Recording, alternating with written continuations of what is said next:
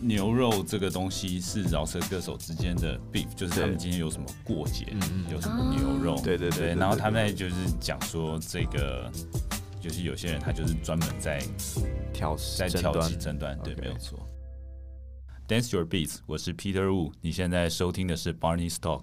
好，我们比较硬的部分著作权大概聊了差不多一个段落，那我们接下来聊一下 B maker 这件事情好了，因为之前也有跟 Peter 哥稍微聊一下，整个音乐产业现在在编制上又有一些变化。对，嗯，比较。早期的流行唱片产业，它通常就是可能有一个作词人跟作曲人，他可能今天在洗澡或者是在上厕所的时候，然后他突然哼哼唱唱，想说把它写成歌。那些作词作曲人他会一些简单的乐器，然后他就把它弹成一个 demo。那当这个 demo 被唱片公司采用的时候，唱片公司可能就会找制作人，然后制作人可能就会去找乐手、找编曲，然后完成最后的成品。那我们来听一下，就是宋冬野的《郭元潮》这首歌。这是他的 demo，他可能用很简单的吉他把它弹出来而已。那我们到最后进到录音室的时候，它的产品会变成这个样子。开始有了鼓手、有钢琴、弦乐的编制。那后面那个就是大家在串流平台上面会听到的版本，嗯，那现在完全不一样，现在可能就是变成是先有编曲，这些编曲在产业界它可能叫做 tracker，然后 tracker 它可能就是把它原本的编曲，然后丢给那些作词作曲人，那作词作曲人他现在在这个流程里面，他就变成叫 top liner，他就是帮他谱写他的那些主旋律，到最后。原本的编曲，它可能只是收取一次性的费用，然后你不会参与任何的版税分配。但是到后面的产业会变成说，今天编曲它会同时成为共同的作曲人，一起参与版税分配。所以像是周华健的朋友，我们可以看到作词人可能是刘思明，作曲人是刘志宏，编曲是洪敬尧。那这个时候洪敬尧他是没有参与版税分配的，因为可能就是刘思明跟刘志宏这两个可能是 homie。我猜测啦，嗯，然后他们可能就是一起写，对，开始写这首歌，然后完成以后就找说，哎，静瑶，我们来帮我编个曲好不好？然后完成了《朋友》这首歌。那那编曲人他赚什么？单笔的费用，一次性的费用。对对对，那这这是以前的状况。但是像后面，像是我现在查到这首，它叫呃叫皇后区的皇后是 Miss Cole 的歌，那可能他这首歌的 Beat Maker 是剃刀剃刀奖。然后剃刀讲，他可能就丢了这个 beat 给 Miss Cole 听，然后 Miss Cole 他写了 top line，所以在这首歌他的作词是 Miss Cole，但是作曲他同时会是 Miss Cole 跟剃刀，所以剃刀他同时拉进来做作曲的版税分配。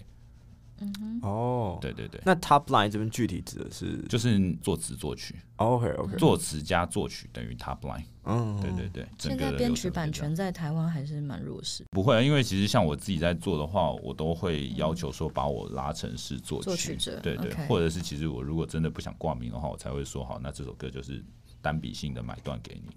但比如说，像通常 B maker 会丢一个 beat 给歌手或是相关的人，那这个 beat 通常具体是指什么？它会长什么样子？应该就是所谓的 instrumental。你现在听到卡拉 OK 放的那些卡拉带，俗语这样讲。但他就他丢的时候就这么完整了，对，而且甚至做出来的东西它是更完整。那我其实这边有一些案件，但是就是碍于商业的机密，我没有办法播出来。其实就是你今天。呃，像我有一个朋友，他把一首歌外销到韩团去。那其实这首最后韩团他重新填词做出来的东西，它跟原曲其实是长得一模一样。那甚至原曲它的一些混音都做的比韩团还要再更好一点点。但是因为商业的东西，它有商业的考量，它可能要把人声拉的前面一点点，大家才能够更容易的跟着哼唱。但是我自己会更喜欢原本。那个 demo 的版本，等于说现在因为数位编曲它的发达，所以这一些 demo 它的要求的品质还有完整度会更高，不会像以前你只要听到一些很琐碎的乐器声，它就可以说是一个 demo。但现在对于 demo 的要求其实很高，因为大家等于大家的那个想象力会变得更弱，大家会不知道说。这首歌它如果变成成品的话，会长什么样子？所以你要补足这些想象力的不足的时候，你的 demo 其实要完成的程度会越来越高。跟其他编曲者在竞争的时候就是这样。哎，可是如果说他丢一个 beat，然后这个歌手他加了 top line，那他出来不就是成品了？那就不会经过 demo 的过程了吗？啊，你其实加了他的 timeline 以后，他就是 demo。它就是哦它就还是叫做 demo，但是你这个过程中，它到最后出来，你还要再经过混音师这一关，对，然后甚至你要做成唱片的话，你还要再过 master。OK OK，对。所以我可以理解成，比如说有时候我们在串流看到有些歌手他的专辑，他可能会摆，比如说什么什么歌的 instrument，那可能就是他的 beat。对对那如果他丢了一个什么什么歌的 demo，那就是他可能还没有过混音。对你常常会在 Street Voice 看到有一些乐团，他就写什么什么歌，然后 demo。嗯，对，那他其实就是可能这首歌他们目前还没有钱去请混音师帮他们混，然后等到他们可能开始红起来，开始有演出的时候，就会把这个 demo 拿掉，然后去给人家混音，然后最后上真的可以收益的串流平台。嗯，对，懂懂懂，但可能后来都会上吧。呃，不一定要看这个有没有红起来。哦，那就是 Three Voice 他们是一个免费的平台，然后提供给这些人，然后等到这些人红起来的时候，他们就把自己的歌撤掉，然后拿去重混，那就是留不住人了。嗯可是我觉得 Voice 他在做的事情是一个，就是真的是在推广一些独立音乐人、嗯他们的平台，哦，所以在 Street Voice 上的播放基本上是不会有不会。不会有版权收益的。对 OK。对，等于说你授权给他们做公开传输这件事情，哎，那 B Maker 跟 Arranger 的差别又在哪里？我觉得 B Maker 它其实像我自己在做东西的时候，我很难去无中生有，就是我没办法想象，说我今天要走一个什么样子的和弦，然后用和弦，然后编出什么样的东西，这个东西对我来讲是超级困难的，也不是超级困难，就是我怎么听会怎么不对。那但是我如果你今天给我一个东西，像譬如说你给我一一个八或者是几个 bars 的的 instrumental 的话，我会有很多想法，我可能会把它切碎，然后再重新做 chop，然后做 flip，或者是我可能把它调高调低，然后从再做编曲。对我没办法无中生有，但是如果你给我一个东西的话，我可以变出好几个版本给你。哦，所以 Arranger 有点像是人家付钱请你取样。哎、不是 arranger，arranger 就是等于说你无中生有生出一个东西，对，就是你可能会弹钢琴，你对对你可能就是压个 chord，然后加个什么什么东西，从零开始慢慢编出一个东西。但这个对我来讲是比较难想象的。所以他就算是作曲人吗？还是不一样？它其实两个东西都叫做编曲，哦，就是 beatmaker 它也是编曲，arranger 它也是编曲，但是 beatmaker 它可能做的步骤会不一样。嗯，对，像如果说我真的要避免要版权问题的话，我会上一个网站叫做 Splice，它里面就会有提供各式各样乐器的那些东西。那我从这个东西开始做发想，然后他会提 提东一关 rhythm 吗？还是不是他就会给你一段，就是可能喇叭他就吹噔噔噔噔噔这样子，嗯然后你从这个噔噔噔噔，然后开始做发想。我会由这个东西成为我的第一步，然后从这个第一步开始我就往后编，我不会从完全没有，哦，然后开始自己编东西。所以他那个这个东西就算是一个无版权的嘛？哎、它就是你今天买了他的会员，他授权给你做利用，那你可以做各式各样的利用，没有关系。哦，OK，有点像这个发响的词。对对对对但，其实编曲人也会用 Splice，因为 Splice 很多音源的声音是很好的，很好，对对，所以可能 Beat Maker 和 Arranger 都会用它的音质来做一些创作。但是我觉得就是可能编曲就是那个思维不太一样，编曲人就是从没有，然后今天编了一些东西，然后你突然想要一轨，但是你没有前请乐手，那你就用那个网站上面的东西去补。那但是像我们的思维是我们一开始什么东西都没有，我们要先从那个网站上面抓一点灵感下来，再做东西。那我其实蛮好奇，因为因为因为我不是音乐人嘛，所以你这个灵感抓了之后，你怎么样？它后面怎么变成一个 beat？啊，这个其实就是牵扯你的制作的技巧，像是你要怎么样子，像我们刚刚谈到那几个案例，你要怎么样，可能会做 reverse，可能会做 chop。那你 chop 完以后，这个东西你要怎么再重新拼凑？它会是一个很吃经验跟很吃就是敏感度的东西。你们怎么决定你们的 groove 的？呃，因为我自己是舞者，所以我自己在做东西的时候，啊身体我会扭。如果这个东西我扭不起来的话，我不会，我就我就不会想要去继续做它。对对对。哦，那那 Missy 呢？你你要不要分享一下你会？你说我怎么编吗？对对对，我也是跟宋德润他们一样，就是可能洗澡的时候突然就是 可能上帝给我的吧，然后赶快写下来。我通常刚刚用手机录下来，因为我我睡觉的地方旁边就是就是钢琴，我就立刻把它的音抓出来，然后丢到我的那个，因为我有一个小小的资料夹是专门收。各式各样的灵感的，然后我就赶快把它丢进去，因为我觉得有可能有朝一日会用，所以我的灵感可能有一百二十几个，就看我什么时候要用上它。有点像写稿这样。你看对对对，差不多了。我现在电脑也大概躺了三百多首歌，然后都完全没有人用过这样子对对。对有朝一日会派上用场。对对对对对可是其实你平常它就像是练功一样，今天如果有人突然要买什么东西，你要给他听一个 demo 的时候，这些东西就是你丢上去去 pitch 的东西的的东西。对，可是 B Maker 之间是不是也会有一些交流的活动？哦会会，其实像 Cipher 这些是的。呃，空 head 还有 Sonia 他们前阵子他们已经做这个东西做蛮久了，他们可能每个月会有不同的主题，像是他今这个月可能会提出一个。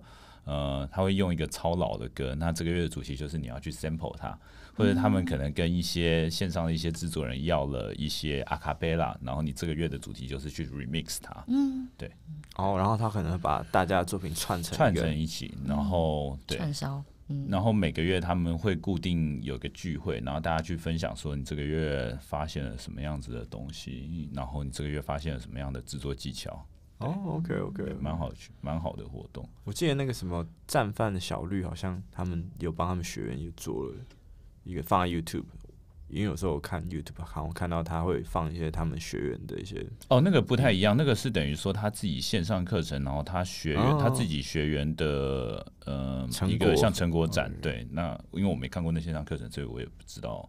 但是这个比较像是我们有一个基本的框架，或是用同一个同一个歌下去取样。对，就是大家会有一个主题，你会你会从别人的作品当中看到你可能没有想过的方式。色。对对对，比较有一个主题在。对。你有一个依据才知道怎么分高下。对对对也不是分高下啦，就是 哎，你会都充满浓浓的 文人相去这种概念。地方，不会不会不会，对啊，就是我觉得 Beastmaker 相较于那些 rapper 会互相 diss 来 diss 去，我们 Beastmaker 其实是蛮 peace 的，我们都会互相分享，就是我嗯。你你做我最近做了什么东西，那你的东西我觉得怎样可以更好，这样子。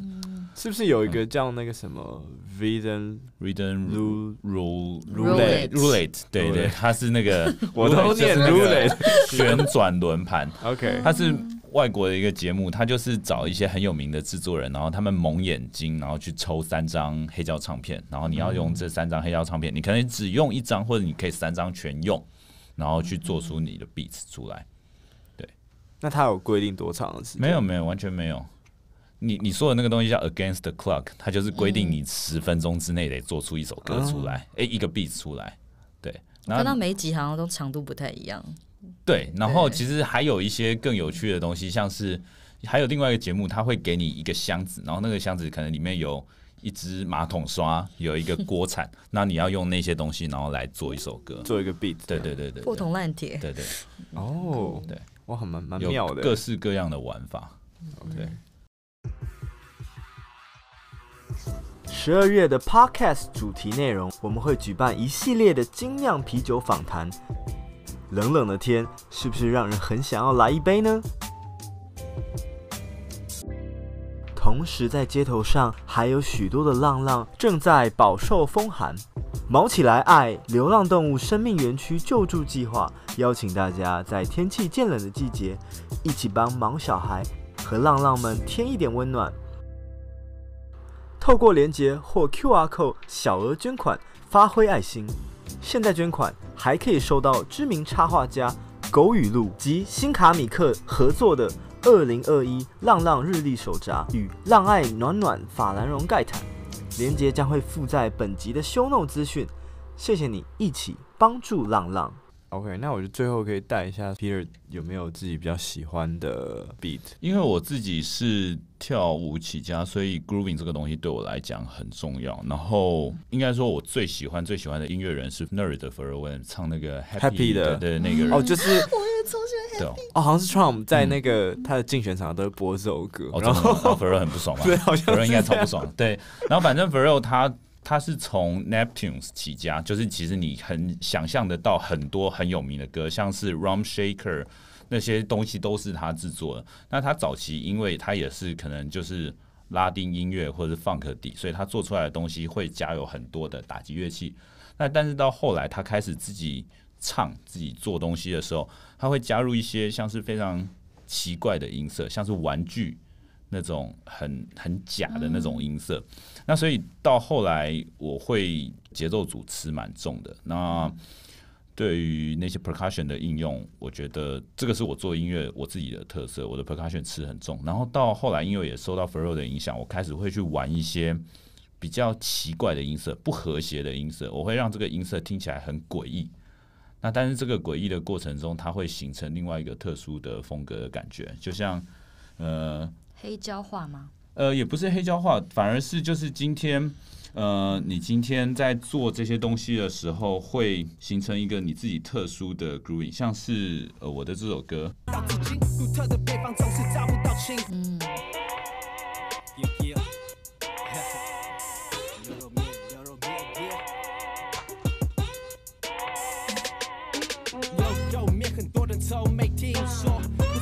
它那个噔噔，那个其实它是一个就是像斑鸠琴的声音，但是我在对，哎，它其实是美国那种南部的那种 country music，然后但是我会特别把它做高八度，它听起来是一个很诡谲的声音，就是你要怎么把这种诡谲的声音处理的好，我觉得那个是一个技巧，嗯，对。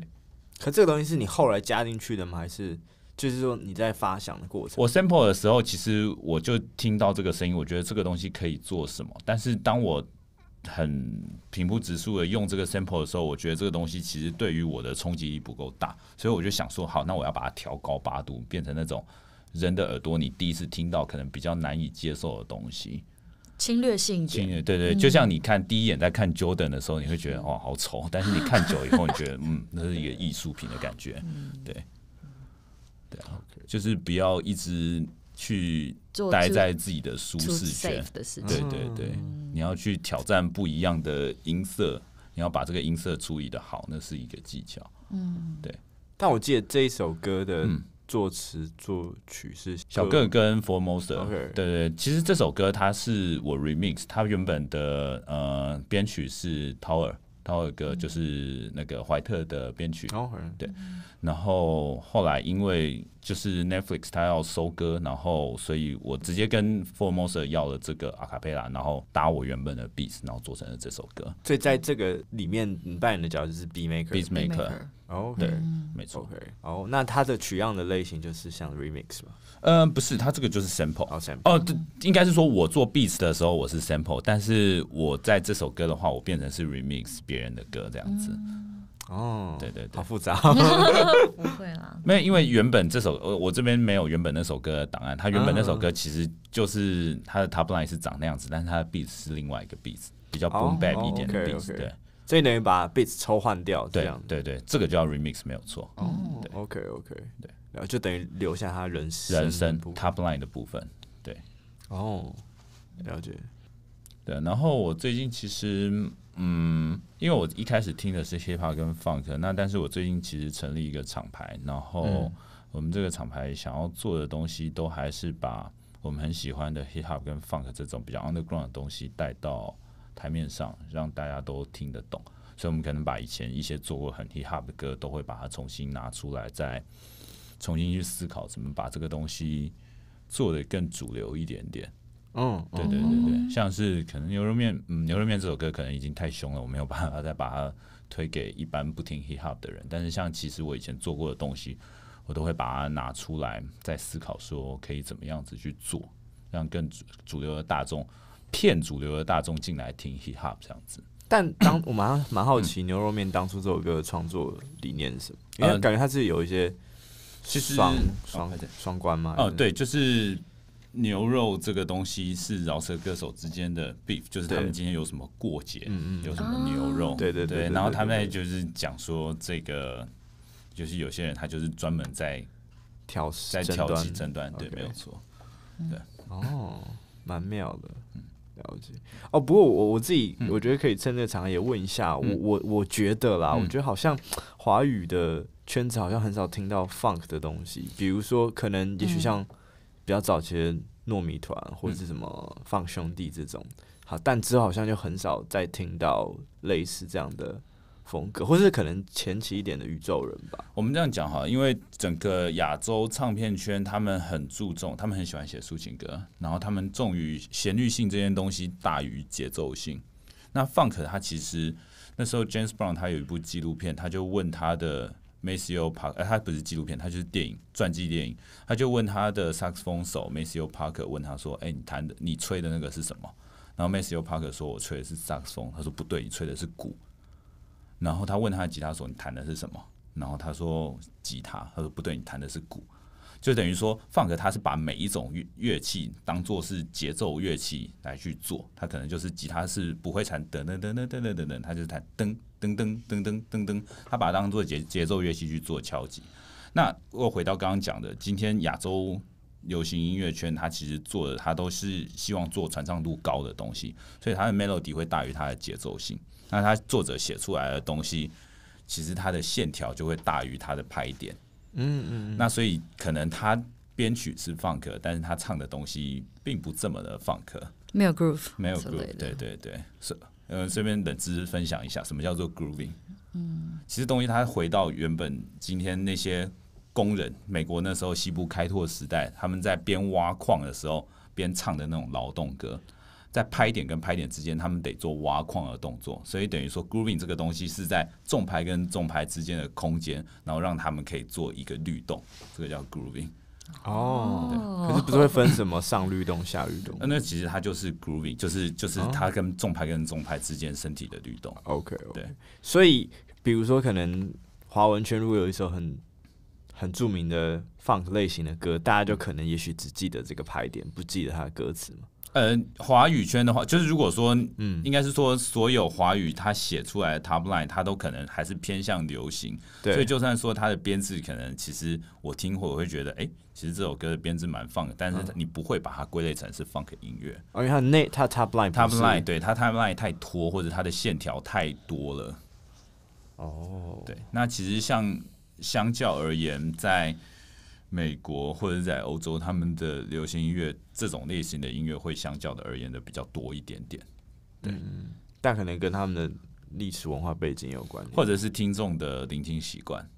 你今天叫一个听众去听 James Brown，他可能听不下去，就是一个普通的听众，因为他没有办法跟着唱。对了解。甚至于在放克乐也会有蛮多，就是主人其实并不是歌手，他可能是乐手，可能是萨克斯风手。像我刚刚在听的 Candy Duffer 就是这样子，是是，可以到对啊是，他们完全就是以 groove 为主的，嗯。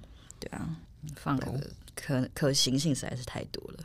OK，好的，那我们今天谢谢谢谢 Peter 老师。谢谢邀请我来。那哎、那 嗯。Peter 哥要不要讲一下？因为你自己本身有在做一些音乐作品嘛，对。那如果大家听众有兴趣的话，可以在那边搜寻。呃，目前我用的平台大概就是 Street Voice 跟 SoundCloud，可是我没有很用心在经营，因为我我觉得就是我的东西可能到时候整理整理，我之后整理厂牌的话，我会把它整理成网站吧。那但是我的第一手消息我会把它放在我的 Instagram 上面。对，那如果大家有兴趣追踪我的话，可以 follow IP Lockers，然后下底线 Peter Wu。那如果对我的音乐没兴趣的话，可以追 追踪我的柯基。我养的也有一只狗狗叫做 Lego，它是一只听 hip hop 长大的柯基。哇，对很可爱。所以现在还有在就没有在跳舞了吗？呃、很少，但是我觉得跳舞这件事情对于我来讲，已经变成是内化成我身体的一部分。我不会特别的去练习跳舞这件事情，但是跳舞会让我听到音乐的时候，很直觉的去做反应，说这首歌我喜欢或不喜欢，然后我怎我会怎么样子去听它。嗯，对了解。了解了。OK，如果你喜欢今天分享的音乐内容，别忘了每周三晚上七点的 Barney's Talk。哦，对了，也别忘了在 Apple Podcast 给我们五颗星的评论，然后分享给你的朋友，我们一起成为有品味的都会玩家吧。